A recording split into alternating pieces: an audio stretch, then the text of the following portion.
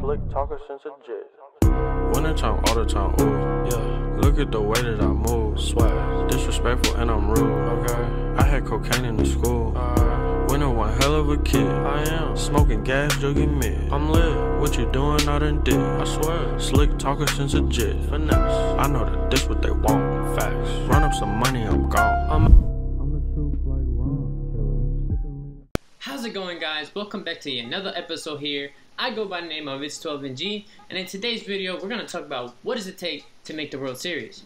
Now if you see on your screen right now, you're going to see that I've made the World Series four times. When the game comes out that it's hard to make the World Series because everybody's on the game. Day in, day out, people are grinding, people are just really just so obsessed with the game and it's a lot harder to make the World Series then. Now at this current time, I think it's a lot easier seeing as there's not a lot of uh, people that are so concentrated on the game. They'll kind of lax around and lose some games just because, and they're not really taking it so seriously. And I think now I've been playing this game for like, say, uh, five years since MLB The Show 17. So give or take, you know, five, four years. Um, and yeah, I think it's the perfect time now to really show you guys what does it take to make the World Series. And I'm going to show you what I do every day before I go into a ranked season game. But first off, before we start, I just want to show you guys that um, my record. My record is currently 116 and 63. My batting average is 298. And you could ignore the ERA because I can't pitch. But yeah, I just want to show you guys, this is especially for people who are struggling to get into the 400s, the 500s, and anything past that, because it's only get, it's only going to get harder from there.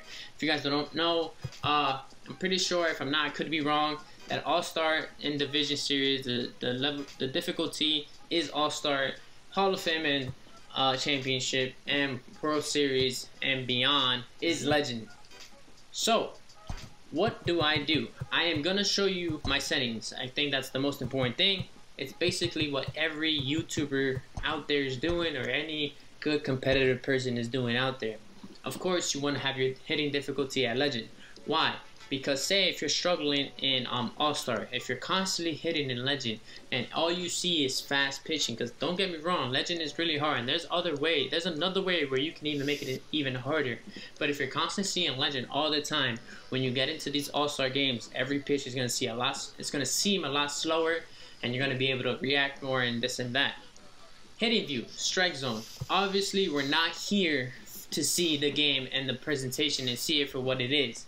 We are here to get better at the game, to hit more, to hit balls harder, to hit more home runs, and have really good uh, discipline on um, when, while we're playing the game. So that's why we use strike zone because strike zone gives you the best view to see to differentiate between balls and strikes. Now you don't you may not think that's much of a difference, but once you get in there and you're really using strike zone, and if especially if you're used to you know using um I don't know catfish or just regular MLB The Show 15 view or the catcher's view or whatever, etc., etc., you're really gonna see the difference. And and also when you're using strike zone, you're gonna have to react a lot faster because even though it may seem like you have more time, you really do not. Now for the in-play view offense, it doesn't matter. You can go high, you can go medium, you can go dynamic. It doesn't matter. I use high because I feel like it's just a better view for me. It's more of a personal preference thing. Now this is the, the bread and butter here. The bread and butter is hitting interface and it's zone. Zone, for those who don't know, you basically have full control of where the bat is going. You have a PCI, and basically the only way you're going to hit the ball is if the PCI is exactly on the ball, and obviously you have good timing. Now, why use zone? The reason why we use zone is because we want more control. More control, obviously, to impact results. In other words, when you're using directional and you're using buttons, you really don't have that much control. Yeah, with directional you have a little bit more than buttons because obviously you're pointing in the area that you want to hit, but you're not necessarily saying, hey, look, I want the bat to be where the ball is, basically, you know? And that's what you have with zone. You have the ability to have that much control, and basically every run that you score, every home run you hit, every ball that it's not like, let me just say, most of them are not just based on luck, it's also based on skill. And like I said once before, your friend Kyle McGunsky, all those top guys, those YouTubers, Cougs, all that, they all use zone. Um, now obviously we don't care about this. Um, when it comes to PCI Center, if for those who don't know, MLB The Show 20 brought in a new thing where the PCI you could customize it, change the color, this and that.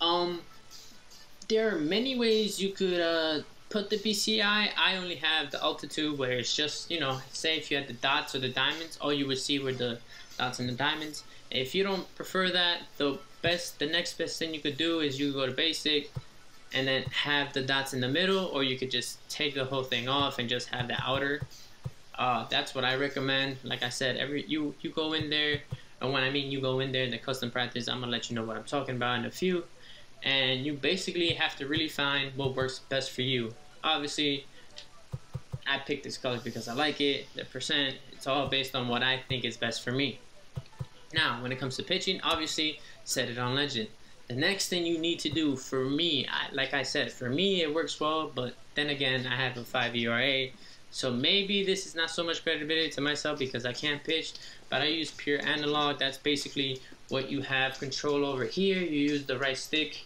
and you're basically full have full control of it. It's not like the meter where you just have to, depending on you clicking on red, yellow, it gives you how throw, but it's basically all on you. If you get, if once the bar comes down, it comes back up. If you hit it right on the bar and hit it right where the circle oh, is, but if you do exactly that, you should, and I say you should because sometimes the game makes you not be able to do it, but you should be able to hit your spots consistently.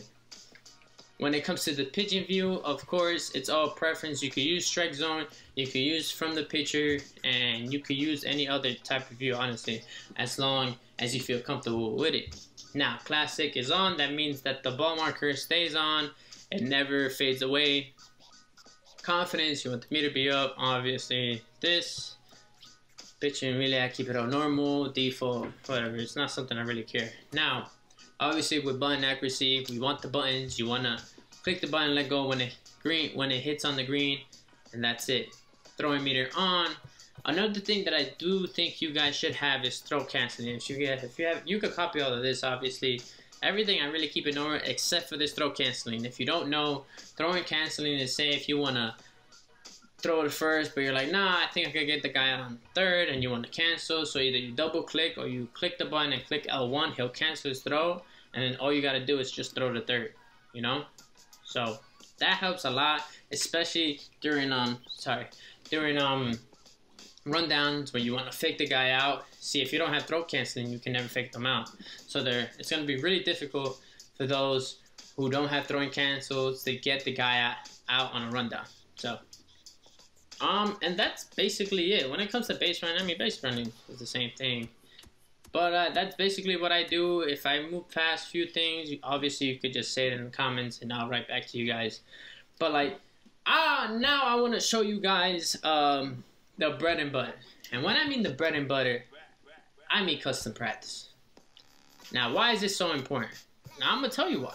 Because you can literally sit here as long as you want, no interference, play against anybody, well, let's not say anybody, but play against specific people that you have a hard time um, hitting against. So for me, it's Chapman. Obviously, for me, I don't know about anybody else, but Chapman for me is really hard to hit. Um, so I picked the Yankees. I know, obviously, Chapman is on the Yankees. And I picked Texas because I picked Joey Gallo. Now, some of you might be thinking, why specifically Joey Gallo? You could pick Mike Trout. You could pick all these other good guys. I picked Joey Gallo because he has probably the worst vision in the game.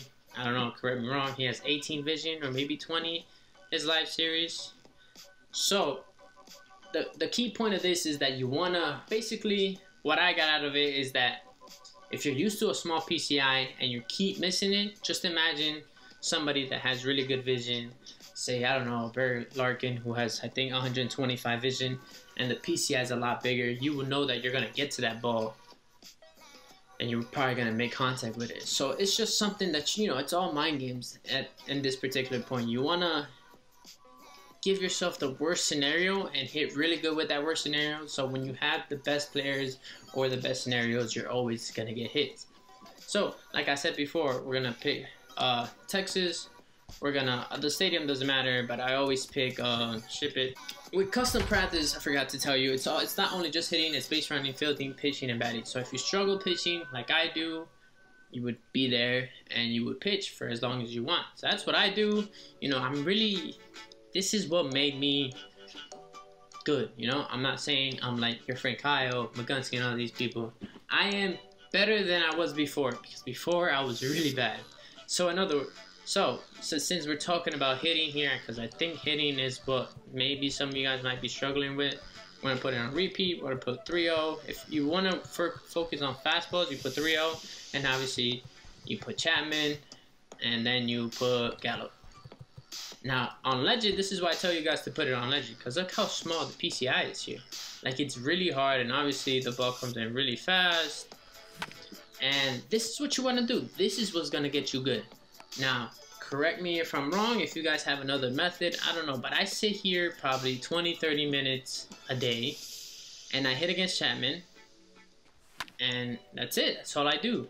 You know, if you want to get, now if you want to get fastballs and sliders in, obviously you put all counts, or you put one, two counts as I hit a home run there. And this is basically what you do. This is basically what's to get you good at the game. Like, I know it's to seem really boring. It's gonna seem like it's not getting you better. But if you sit here, literally, if you really want to get better and you sit here and try to hit Chapman as best as you can, you will hit him eventually, you know? And you and you'll get used to it, you start reacting faster and you will start hitting home runs and and you're gonna get better. I most of the time, like I, I tell all my friends, all my friends, like, look, you wanna get better? This is where you go, bro. This is where you go. This is what you do, and you hit home runs off of Chapman and this and that. And say you're struggling, I don't know, against Cole, you create play, do the same thing. And you put Gerrit Cole, put 3-0. You don't throw fastballs. Or you put, uh, if you're struggling with off speed, you could put in 1-2 counts. And obviously he's always going to throw an off, an speed. So, there it is, folks. Right then and there. This is exactly what I do day in and day out before every ranked season game. And this is where I've been doing. So that 116 and 63 record, this is the reason why I'm, I have that record. The 296 batting average that I have, this is why, you know? And for those who know me, I, I wasn't good last year. I was not. I had a negative record and my batting average was like 270 or whatever, but I stuck to it. And this is why I say consistency, consistency, consistency. This is not going to be learned overnight. You using um, zone, you're not going to learn it overnight. You know, this is going to be a process that you're going to have to keep doing day in and day out if you honestly want to get better at this game. That's all I have to say for you guys. If you stay with it, if you follow everything I just said, you're going to get better at this game. And that's about it. That's where I'm going to wrap this video up. As always, thank you guys for watching the video. Like, comment if you're new, of course, sub because we do a lot of MLB The Show 20 content here, obviously. Hitting tips, we do a lot of ranked seasons and debuts and everything else. I go by the name of It's 12NG, and I'm out. Peace.